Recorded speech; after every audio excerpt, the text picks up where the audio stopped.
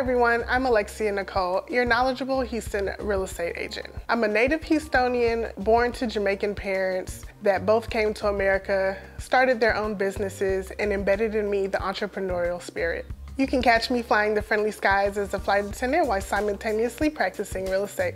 In my five years of business, what I've learned is that buyers and sellers have different desires, needs, and financial priorities. My goal is to go above and beyond for every client and be your realtor of choice.